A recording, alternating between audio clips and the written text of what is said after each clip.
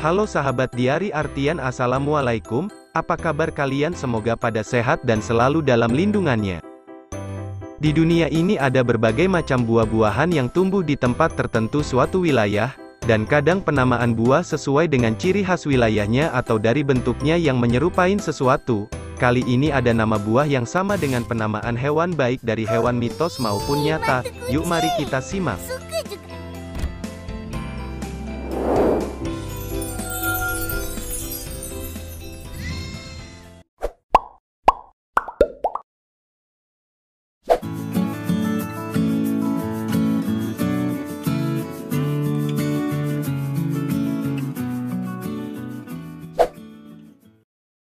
Buah naga dalam Inggris pitaya adalah buah dari beberapa jenis kaktus dari marga Hilocereus dan Selenicereus. Buah ini berasal dari Meksiko, Amerika Tengah dan Amerika Selatan namun sekarang juga dibudidayakan di negara-negara Asia seperti Taiwan, Vietnam, Filipina, Indonesia dan Malaysia. Buah ini juga dapat ditemui di Okinawa, Israel, Australia Utara dan Tiongkok Selatan. Hilocereus hanya mekar pada malam hari. Pada tahun 1870 tanaman ini dibawa orang Prancis dari Guyana ke Vietnam sebagai tanaman hias, oleh orang Vietnam dan orang Cina buahnya dianggap membawa berkah, oleh sebab itu, buah ini selalu diletakkan di antara dua ekor patung naga berwarna hijau di atas meja altar, warna merah buah terlihat mencolok di antara warna naga-naga yang hijau, Kebiasaan inilah yang membuat buah tersebut di kalangan orang Vietnam yang sangat terpengaruh budaya Cina dikenal sebagai Tang Loi, buah naga. Istilah Tang Loi kemudian diterjemahkan di Eropa dan negara lain yang berbahasa Inggris sebagai dragon fruit, buah naga. Buah yang menyerupai sisik naga. Buah ini juga dikenal dengan nama pitaya, sejenis dengan pitahaya, pohon kaktus yang bisa menghasilkan buah di Amerika Tengah. Di sisi lain ada juga yang menyebutnya pear strawberry. Namun sejak tahun 1993 lebih populer dengan nama buah naga atau dragon fruit. Nama tersebut diberikan karena kulit buah naga yang menyerupai sisik naga merah.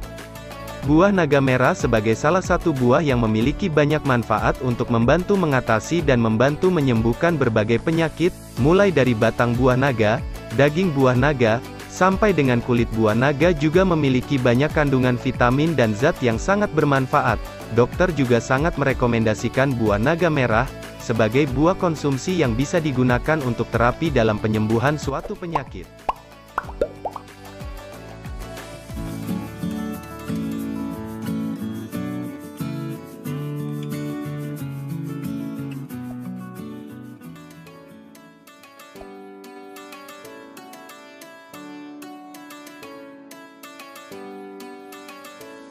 Jambu monyet atau jambu mede, Anacardium occidental, adalah sejenis tanaman dari suku Anacardiaceae yang berasal dari Brasil dan memiliki buah yang dapat dimakan.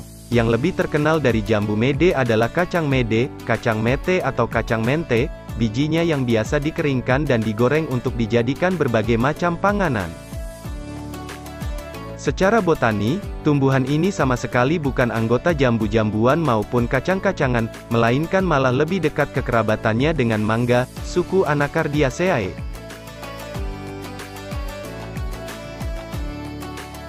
Walaupun disebut buah, bagian berwarna oranye ini sebenarnya adalah buah semu, jambunya adalah dasar bunga yang mengembang setelah mengalami pembuahan, sementara buah yang sesungguhnya adalah kacang mete.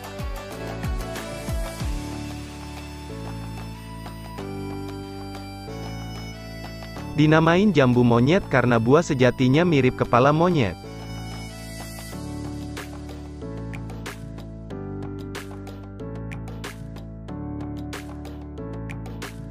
Kok disebut jambu monyet ya? Apa buahnya kesukaan monyet? Apa pohonnya menjadi tempat bermainnya monyet? Ternyata disebut jambu monyet karena bentuk buah sejati mirip kepala dan wajah monyet, Sementara, buah semuanya mirip buah jambu air atau jambu bol, pohon jambu monyet ditanam terutama untuk diambil buah sejatinya.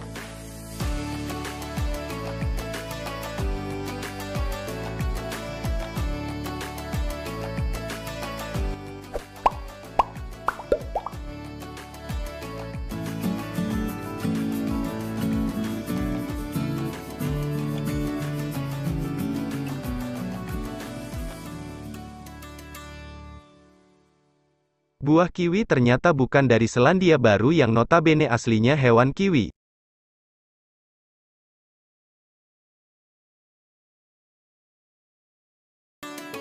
Bentuk buahnya yang mungil dan berwarna hijau ini tergolong kaya manfaat kesehatan. Jumlah serat dan vitamin C dalam kiwi ditengarai lebih banyak ketimbang jeruk. Tapi siapa sangka bahwa kiwi ternyata mulanya bukan berasal dari Selandia Baru, melainkan dari negeri tirai bambu Cina yang dinamai gooseberry. Asal mula nama buah, kiwi, yang sempat diklaim oleh Amerika dan Inggris.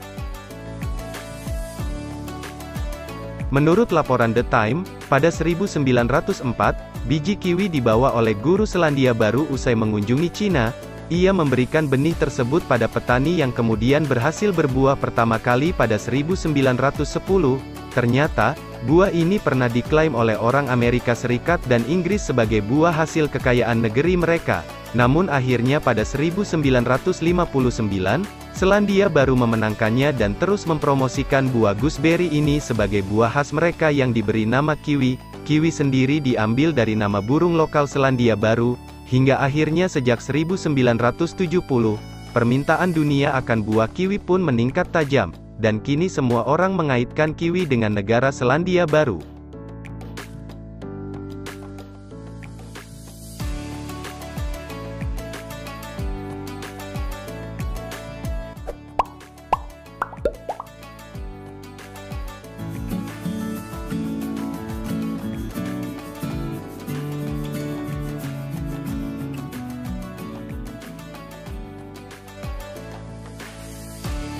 Buah kelengkeng dikenal sebagai mata kucing atau mata naga.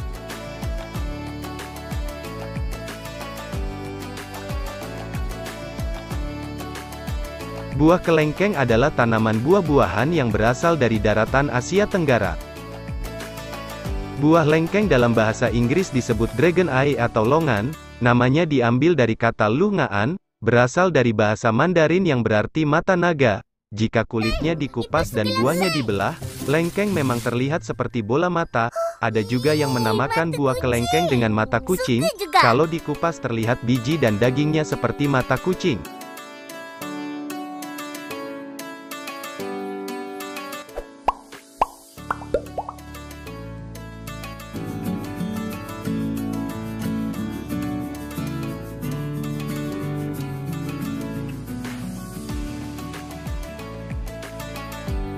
Buah salak dinamakan snack fruit karena kulitnya.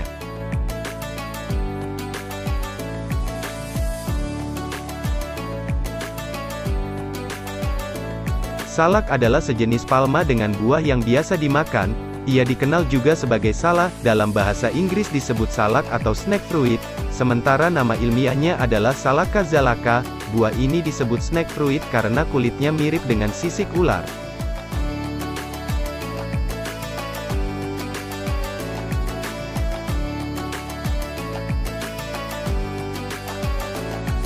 Sekian dulu informasi dan pengetahuannya, semoga bisa terhibur dan memberikan manfaat. Saya Temon dari Diari Artian mengucapkan selamat menjalankan ibadah puasa, sampai bertemu kembali di video Diari Artian selanjutnya.